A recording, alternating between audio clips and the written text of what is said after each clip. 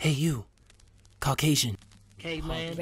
Hey, Blanco. Gringo. Paleface. I gotta tell you a secret. Bruni. Hunk. Mzungu. This might come as a surprise, but uh, White people, listen to this. In America in the early 1600s, you didn't exist. You didn't exist. I hate to break it to you like this. Listen to what your history books missed. What would be made white were completely unrelated, undermelanated people. Frankenstein, collaged by an optical illusion. The ultimate mirage called race, a social construction like Santa Claus. Back in the day, y'all either English or Scot, Irish Catholic or Protestant, land owning or not. But you can't have white without black in America.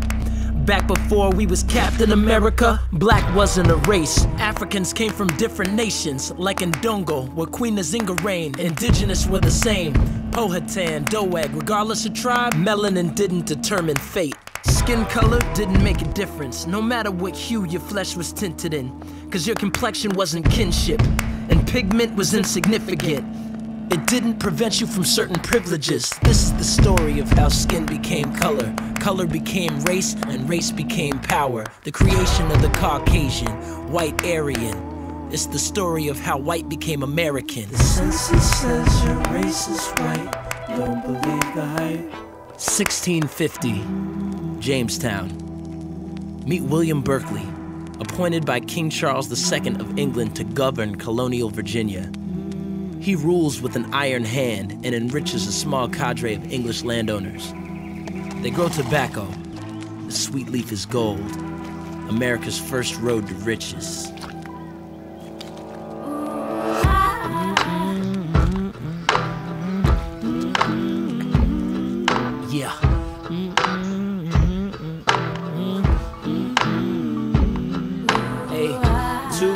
The crop, they kidnap and capture men. Engaged in human trafficking and trap the African. And if they can't steal the labor, then they use lies as lures, or false promises as tools to recruit all the poor from Bristol to Liverpool. Little did they know that they were in for something cruel. Jamestown was their destination.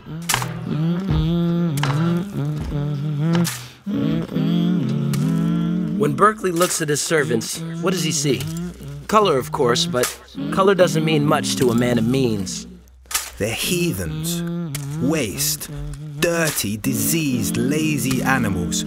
I would sooner call my hound brother than a servant of any shade. Under God and by law, he has the right to whip, maim, starve, buy, or sell them at his pleasure. But he fears them.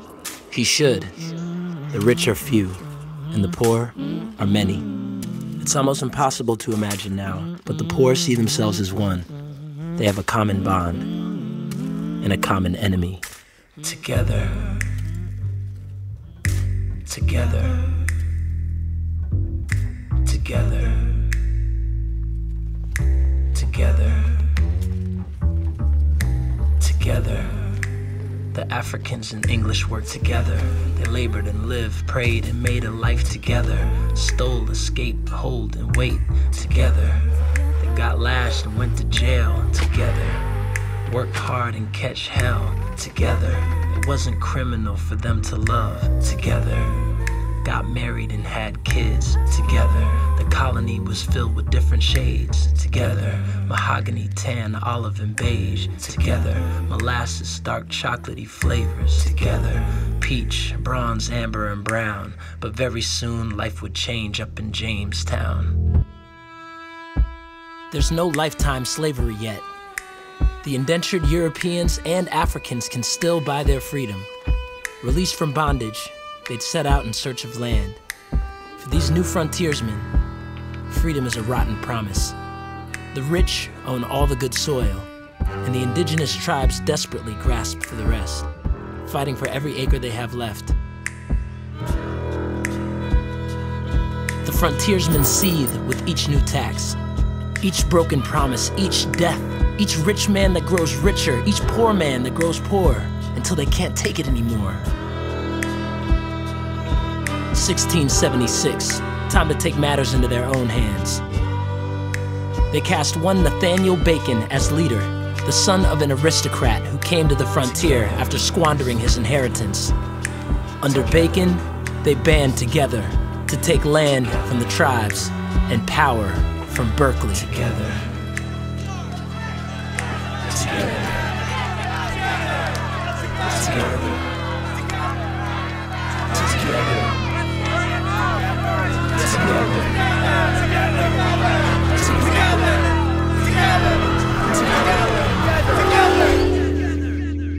Get your guns, get your knives. First target is the tribes.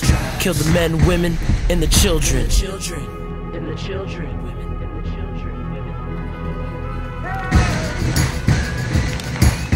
Hundred men turn into a thousand. A posse turned guerrilla army is astounding. And Ndongo, English, Angolan, Irish fought together, together to abolish all the tyrants and the snakes, ready to mount the heads on stakes. Enough of these rich men, of these false men, corrupt men. Light the torches and set Jamestown ablaze.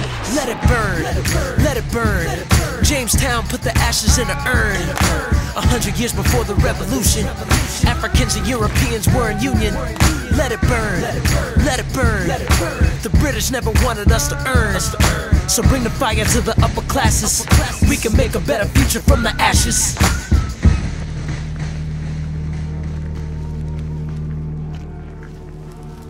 Berkeley watches Jamestown burn, and he burns with vengeance. The waste must be cleansed from God's green earth. Behind a British gunship, retribution.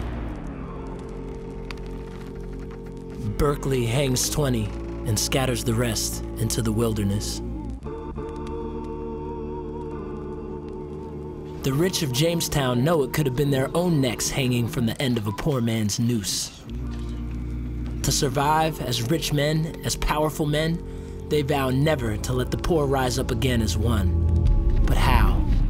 What scheme? What deception? In 1681, white will appear in a legal document for the first time in history when Virginia bans Africans from marrying whites. One law of dozens creating and separating the races. Blacks across the colonies will be enslaved for life, no longer treated as human, but as property. Poor whites were handed the whip. The rich exploited their ignorance. They traded rebellious plots for managing slave auction blocks, and any chance for both of their freedom was lost. It doesn't happen overnight, but the rich divided people by phenotype. Melanin, skin color, you dark, you light. Your life or death could be determined by the question Are you white? Are you white? Well, are you white? Go ahead. Take a look in the mirror. Ask yourself Am I white?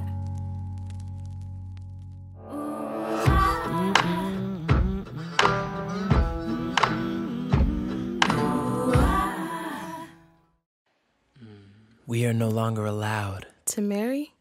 We are no longer allowed. To start a family? We, are, no, longer, allowed. Can we say aloud Should we stay inside? that we have a child? Can we stay alive? We're not coming out. Why are we vilified? Let's go underground. We are no longer allowed.